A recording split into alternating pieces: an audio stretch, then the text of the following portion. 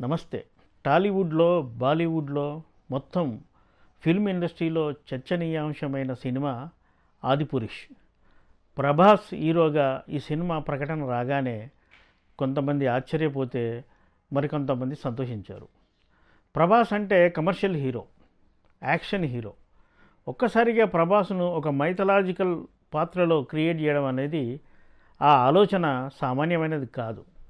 ఎందుకంటే ఉత్తరాదిలో ఈ పౌరాణిక సినిమాల నిర్మాణం చాలా తక్కువ. పౌరాణికాలకు పేటెంట్ హక్కు ఎక్కడ ఉందంటే తెలుగు వాళ్ళకే ఉంది. అనేక రాముని సినిమాలు అనేక కృష్ణుని సినిమాలు రామాయణం భారతం ఇలా అనేక చిత్రాలు తీసిన అనుభవం మన తెలుగువారిది కానీ ఇప్పుడు పౌరాణిక సినిమా తీస్తున్నది పూర్తిగా హిందీ వాళ్ళు. అది మన తెలుగు హీరోతో. దీన్ని మామూలుగా తీసుకుంటేందుకు వీల్లేదు. ఎందుకంటే కొద్ది రోజులుగా భారతీయులందరూ రామజపం చేస్తున్నారు. ఇటీవలే అయోధ్యలో రామమందిర నిర్మాణానికి ప్రధాని శంకుస్థాపన చేశారు.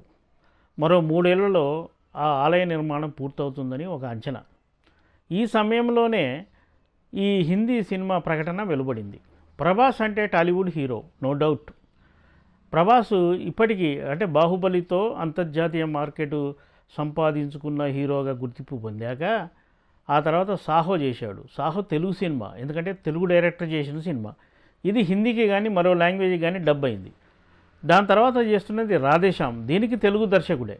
అంటే ఇది తెలుగు సినిమా కానీ మనం పరిగణించాలి. టైటిల్ మాత్రం హిందీ ఓరియంటేషన్లో ఉన్నప్పటికీ తెలుగు సినిమా. ఇది కూడా హిందీ తమిళ్ మలయాళ కన్నడ ఇలా డబ్ అవుతుంది. పూర్తి స్థాయిలో చేస్తున్న హిందీ సినిమా మాత్రం ఆదిపురుష్ ఎందుకంటే ఆ మేకర్సు ఆ డైరెక్టరు అందరూ బాలీవుడ్ వాళ్ళే. భక్తి పాటలు ప్రసిద్ధి చెందిన టీ సిరీస్ కంపెనీ ఈ సినిమా తీస్తుంది. కరణ్ జోహారు ఒక ప్రొడ్యూసరు. ప్రభాసు అందులో శ్రీరాముని పాత్ర చేస్తున్నట్టుగా ప్రస్తుతం మనకున్న సమాచారం. ప్రభాసు ఈ పాత్రకి ఎంత మేరకు న్యాయం చేయగలడు అనేది సినీ విమర్శకులు ఆలోచిస్తున్న విషయం. ప్రభాస్లో రాజసం ఉట్టిపడుతుంది అనేది అందరికీ తెలిసిందే. బాహుబలిలో అటు రాజుగా సైన్యాధ్యక్షునిగా ఒక సామాన్యునిగా ఇలా భిన్న కోణాలను ఆయన ఆవిష్కరించాడు. ఆరు అడుగుల పొడవున్న ప్రభాసు శ్రీరాముని పాత్రకు పూర్తిగా సరిపోతాడు. కానీ రాముడంటే కేవలం విగ్రహం మాత్రం కాదు. ఆంగికం ఉండాలి వాచకం ఉండాలి. ఈ వాచకం అనేది ప్రధానమైనది. రాముల్లో చూపులో కానీ మాటలో కానీ ఈ వాచకం అనేది ప్రధానాంశం. దీన్ని ప్రభాసు ఏ మేరకు చేయగలుగుతాడు అని కొందరు సంశయిస్తున్నారు. అయితే ఇవన్నీ ఆలోచించే ఆ దర్శకుడు కానీ నిర్మాత కానీ ఒక నిర్ణయానికి వచ్చి కొన్ని ట్రయల్ షూట్ కూడా చేసి ఉంటారని ఒక సమాచారం. బాహుబలి ఈ సినిమాకు బేస్. బాహుబలిలో రాజుగా పూర్తి స్థాయిలో ప్రభాస్ న్యాయం చేశాడు. కాబట్టి శ్రీరాముని కూడా అతని పూర్తిగా న్యాయం చేస్తాడు అనేది నో డౌట్ ఇక రామాయణం సినిమాని ఏ మేరకు ఎలా యాంగిల్ ఎలా తీస్తారు? రామాయణం అంటే తెలుగులో మన తెలుగు ప్రేక్షకులు తెలిసిన ప్రకారం రాముని పుట్టుక కళ్యాణం వనవాసం వెళ్ళడం రావణాసుడితో యుద్ధం ఇది ఒక ఎపిసోడు. తర్వాత పట్టాభిషేకం లవకుశులు ఇది ఒక ఎపిసోడు.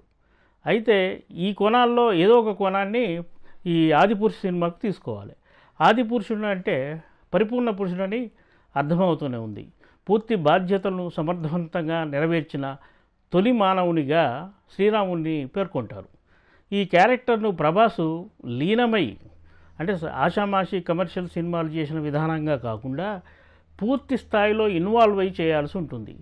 అవసరమైతే సీనియర్ల పర్యవేక్షణలో పని చేయాల్సి ఉంటుంది. ఇక ఈ ఆదిపురుషుకు అదనపు హంగులు త్రీ టెక్నాలజీ ఆధునిక సాంకేతిక పరిజ్ఞానం వీటితోని తిమ్మిని బమ్మిని చేయగలిగే సమర్థులు ఈ మన సీనియర్ టెక్నీషియన్లు. కాబట్టి ప్రభాస్కి ఈ అవకాశం అరుదైంది. దీన్ని ఎలా నిలబెట్టుకుంటాడు?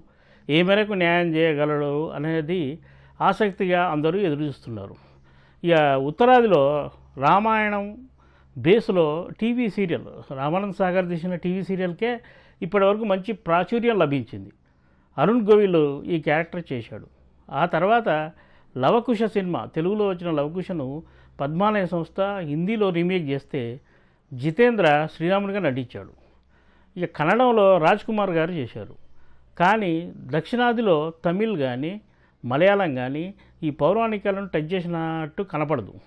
ఉత్తరాదిలో కూడా ఈ అటెంప్ట్ చాలా తక్కువ. ముఖ్యంగా పౌరాణిక పాత్రలు చేయదగిన ఆర్టిస్టులు లేకపోవడమే ఈ పౌరాణికాలను అటెండ్ చేయకపోవడానికి కారణమని సినీ విమర్శకులు అంటుంటారు. ఇది కూడా నిజమే. అయితే అందరూ ఆసక్తిగా చూస్తున్న సినిమా మాత్రం ఆదిపురుషు ఇది మన ప్రభాస్కు లభించిన ఒక అరుదైన అవకాశం. హిందీలో అనేక మంది స్టార్స్ ఉన్నప్పటికీ వాళ్ళెవరికి దక్కని ఛాన్సు మన తెలుగు స్టార్కు దక్కింది. దీన్ని మనం అందరం ఆనందించాల్సిందే. ప్రభాస్ ఈ సినిమాతో డెఫినెట్గా అంతర్జాతీయ స్థాయి ఆర్టిస్ట్ అవుతాడు అనడంలో ఎలాంటి డౌట్ లేదు.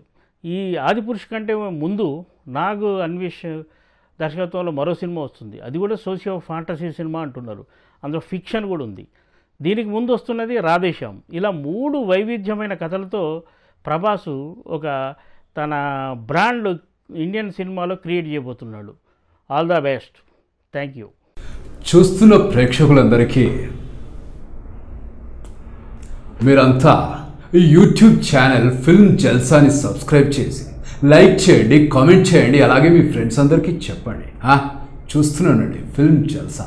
Hi this is Srinivas Reddy please subscribe film Jalsa hi this is Rasha Chetri please subscribe to film Jalsa for all latest Tollywood news